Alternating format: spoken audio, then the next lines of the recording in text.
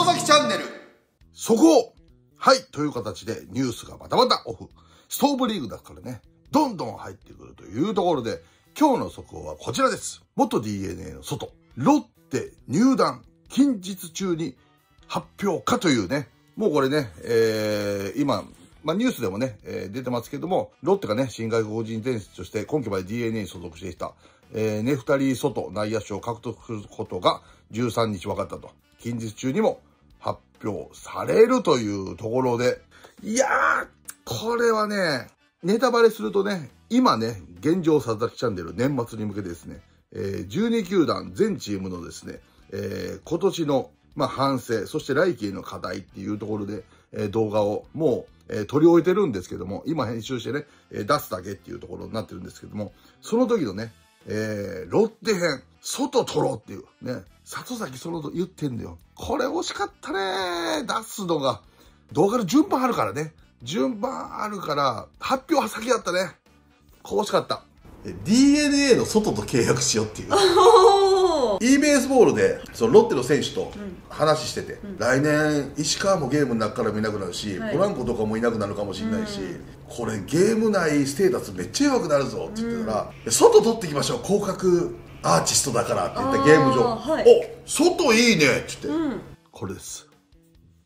言ってたでしょ。まあでもこれはねすごくいい補強になったね。ロッテとしては。まあ現状ねロッテの外国人選手を現状で言うと打者で言うとねポランコがね、残留はね、あの、規定路線のまま、あの、契約を、あの、続行してるけども、保留者名簿から外されて、今ね、まだフリーボールになってどうなるかわかんないと。だからまあ今年ね、ポランコはホームラン王を取ったと。多分、大幅な年俸アップ、もしくは複数年契約をプラスして契約をしたいと。でもロッテ側はそこと折り合わないっていうところで、ひょっとしたら横やりが入って、他球団に移籍するっていうことも考えられる。だからもうね、デスパイね、ね、オスナの時から何回も言ってるけども、外国人選手は日本に来てるのはビジネスと。ね、長くいればいるだけね、そのチームに愛着も分かって、まあ、このチームでずっとやりたい出るけども、もう3年ぐらいの話だったら、もう高い球団にもう間違いなく乗り換わっていくから、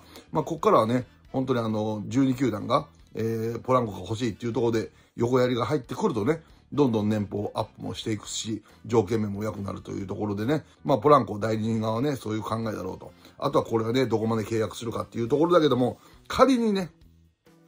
ポランコ外がね、ロッテに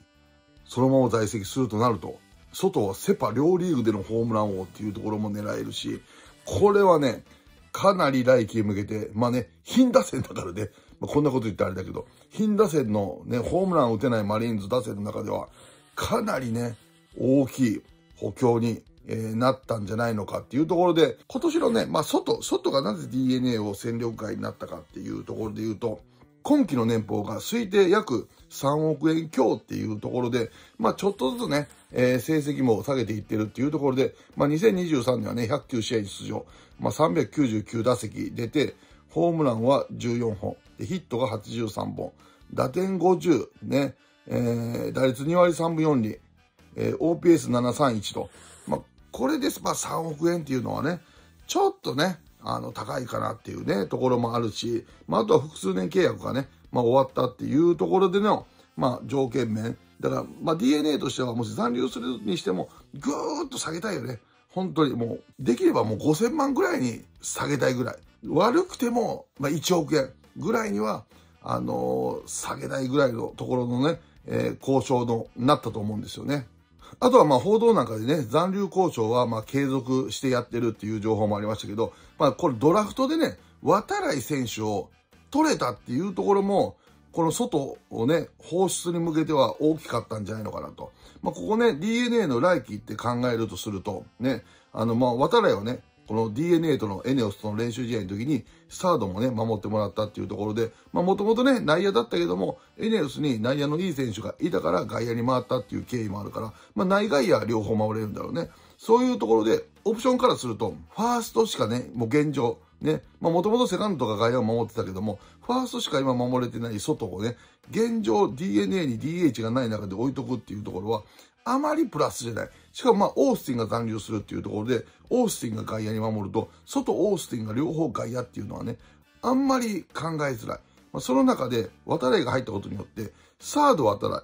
サードの宮崎がファースト、もしくはセカンド渡来、セカンドの牧がファースト、もしくは渡来が外野、で、えー、佐野がファーストっていうところで、この渡来が、まあ、外野、サード、セカンドを守れるっていうところで、いろんなオプションが出た中で、そこにいる選手たちが、ね、その負担を減らす。まあ、今年もね、宮崎が体調不良で試合にね、出ないっていうところもあったけども、まあ、サードっていうね、負担が大きいポジションから、ファーストに持っていくことによって、体への負担を減らすっていうところでは、渡来が加入したことによって、え宮崎、牧、そして佐野っていうところを、ファーストも使いながら、渡来をその空いたところにね、まあ、これは渡来がプロに入って、えー、プロでね、望ましい結果を出す、出せるっていうところが、まあ、前提の話なんだけども、これがもし出せるようになれば、今言ったようなオプションが使えると。そうなってきた時に、やっぱファーストしか守れない外っていうところに高年俸を払って残留っていうところは、あんまりポジティブニュースじゃないっていうところが、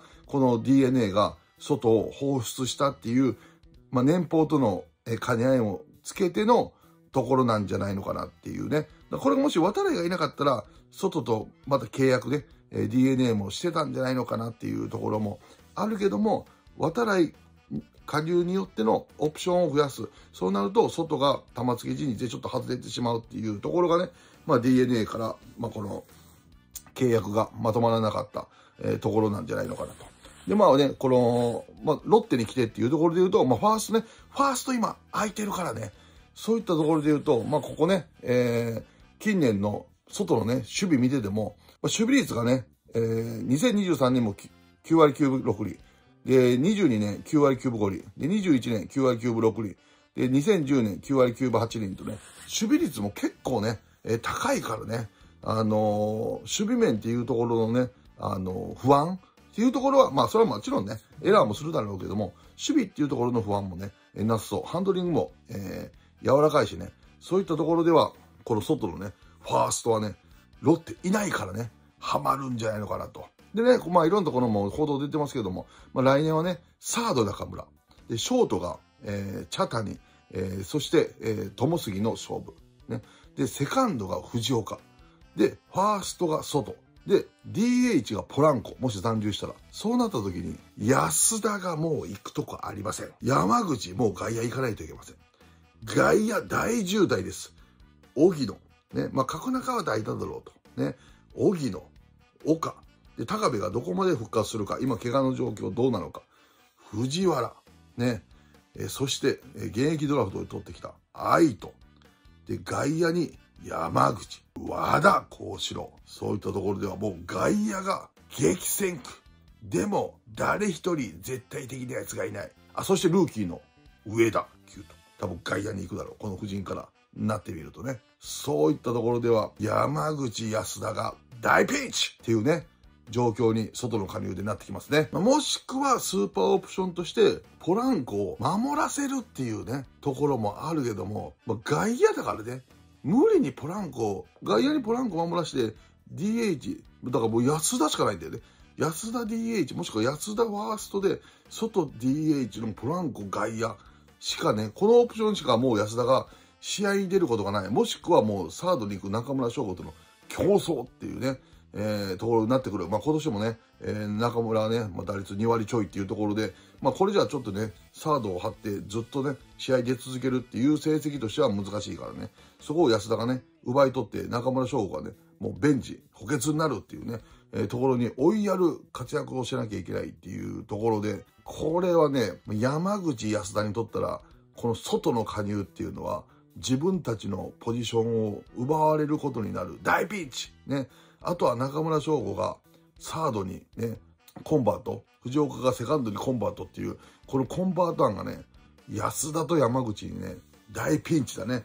これはかなり少年を入れて外野でチャレンジしていかないと、どうなんだろうね。外野。荻野、藤原、岡が今最有力なのかな。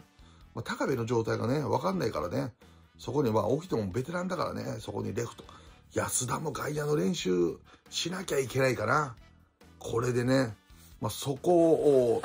することによって自分の出場機会を増やすっていうところもあるけども、これは来季ね、キャンプの練習ポジションに向けてはかなり見応えがある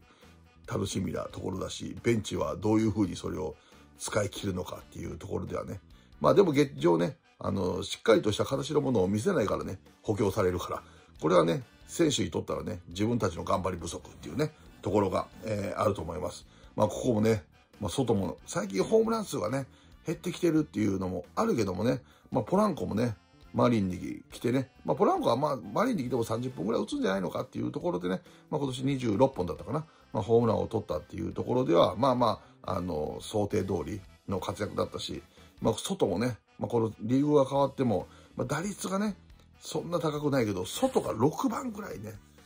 いたら怖いよね。そういったところでは、これね、来季、来季に向けてここまでね、えー、千葉ロッテマリーンズ、あんまりね、このストーブリーグの話題に全く上がってこなかった中で、この12月14日かに来て、やっとビッグな補強っていうところの、あのー、発表になってね、